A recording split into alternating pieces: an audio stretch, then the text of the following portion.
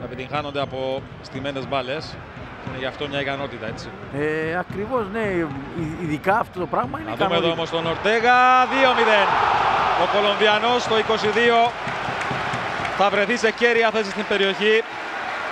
Θα κάνει ψύχρεμο πλασέ, ψύχρεμο τελείωμα και θα ανοίξει και αυτός λογαριασμό με τα αντίπαλα δίχτυα στο 22. Πρώτο γκολ του Κολομβιανού στο πρωτάθλημα και δεύτερο για την Ομόνια στο παιχνίδι που σε ένα τρίλεπτο μέσα βλέπει το προβάδισμά της να εδραιώνεται. 2-0 με τον Μίκαελ Ορτέγα, τον 28χρονο Κολομβιανό στην 7η συμμετοχή του να σκοράρει και να ευχαριστεί τον Θεό. 2-0. Στη φάση που ξαναβλέπουμε. Ο Ορτέγα βρέθηκε μόνο στην περιοχή, γύρισε. Πολύ καλή πρώτη επαφή του με την μπάλα. Του επέτρεψε στην δεύτερη να στείλει την μπάλα στα δίκτυα του, του Γκρέμσελ και να κάνει το 2-0.